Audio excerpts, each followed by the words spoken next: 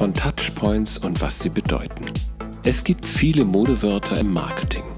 Sind die Begriffe Touchpoint oder Touchpoint Management auch aus der Sprüche-Disco von Marketingmanagern, die sich wichtig machen wollen? Seit mir ein solcher bei VW 2006 erklärte, dass das ganze Web 2.0 und somit Social Media nur ein Agenturhype sei, den man nicht überbewerten sollte, hüte ich mich davor, Trends vorschnell als Hype abzutun.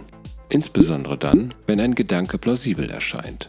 Die These, dass Unternehmensaktivitäten an Touchpoints auszurichten sind, um so von den Zielen der Kunden her zu denken, erscheint